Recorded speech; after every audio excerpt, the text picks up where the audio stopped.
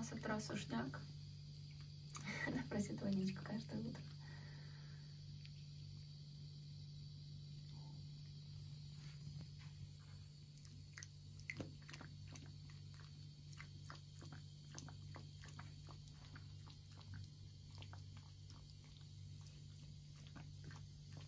Всем доброе утро. Я опять проспала. Начну сейчас собираться на работу. Моя нас всегда первая завтракает. Водичку ей включи, кушать ей положи, да? А потом уже все остальное. С таким аппетитом кушает.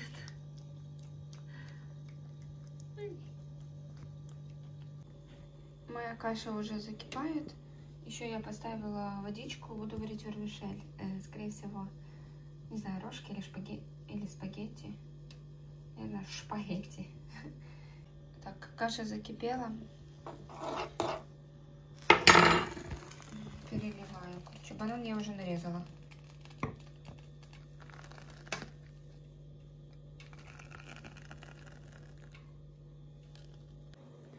А, сейчас я буду кушать и Сегодня я не буду слишком сильно долго заморочливо собираться. Я просто накрашу ресницы, расчешу волосы. Вот, не знаю, минутка нытья от меня.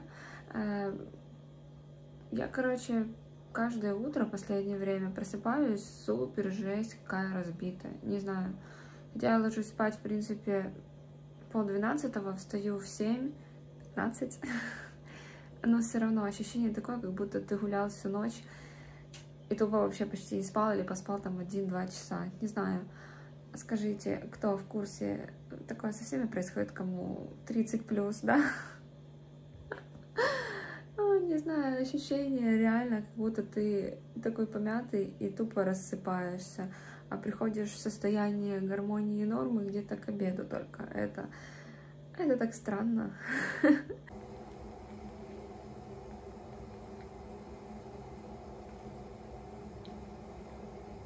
я решила сделать все-таки шпагетти. Закину, их они быстро провалятся. И все. Я, короче, как этот спонсор самых простых, быстрых и совершенно не напряжных рецептов. Блин, не знаю. И у меня иногда есть настроение приготовить что-то сложное, прикольное вкусное, но это желание возникает очень достаточно редко и когда у тебя достаточно много времени. Я уже сварила мармишель, добавила туда сливочное масло, перемешала. Ну и все, в принципе. Э, собрала себе судок, я буду обедать вермишелью и битком, который я вчера жарила. И сделала типа салата, я туда нарвала листья шпината, нарезала помидор и огурец. Э, приправлять и солить я не буду, принципе, в этом нет смысла. Помидор пустит сок, оно все там перемешается, переколошматится и будет так же само, и практически нет разницы, если я туда добавлю еще масло. А, Олегу я нарезала огурец-помидор, он потом, когда будет обедать, себе возьмет, насыпет мармушельку и возьмет там пару битков, там 2-3 штуки. Сейчас, короче, включили тревогу, и на самом деле, когда вот ты ее слышишь, реально такое, не знаю, не могу передать ощущение. Не то, что тебе страшно, но внутри такое чувство опасности, короче, возникает, как будто что-то может случиться. Мы увидела голубя. Смотрите на эту хищницу. Да, и у нас нет окна, потому что оно выпало.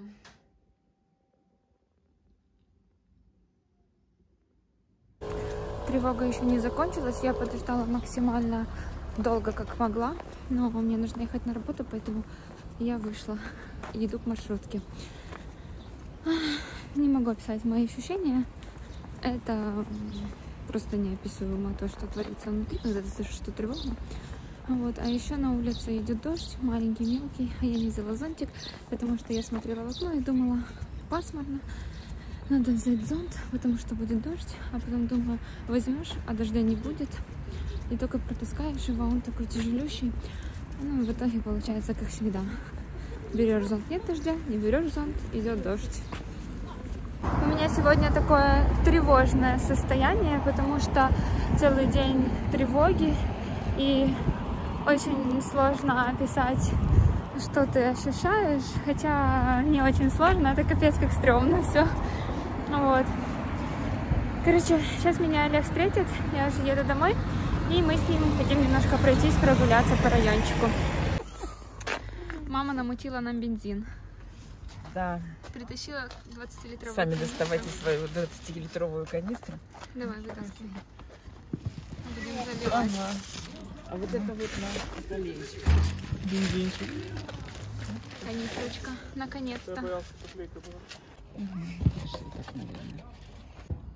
Как она открывается? Мгм. Вверх, да? Да, да. Точно вверх? Ну не знаю, честно говоря. Может надавить? Не знаю. А, ну логично, что сюда, правильно? Так тянут, что Заржавела, да. Там могут... Не заржавело, а из-за температуры. Тяни. 20 минут спустя мы наконец-то открыли канистру. Пошло уже. Давай, заливай. О, Это мож- можно сказать главное, без меня ничего Да, не туда. давай. Ага, так. ага, ага. Подноси ближе, прям под этот, ага, и потихонечку. По чуть-чуть. Ладно, скажу, это уже приятный запах. Ну, заправиться, да, подъезжайте. Я говорю, цена, цена на этом, на табло. И какая цена была? 70 гривен. Накормили нашу ласточку.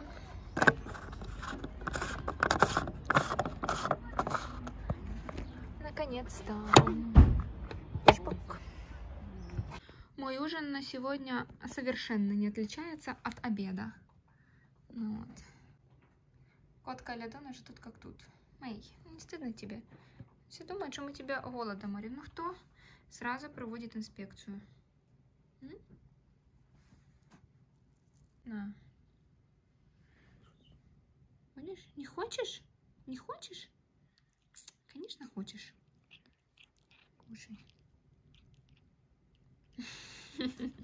Такая смешная. На.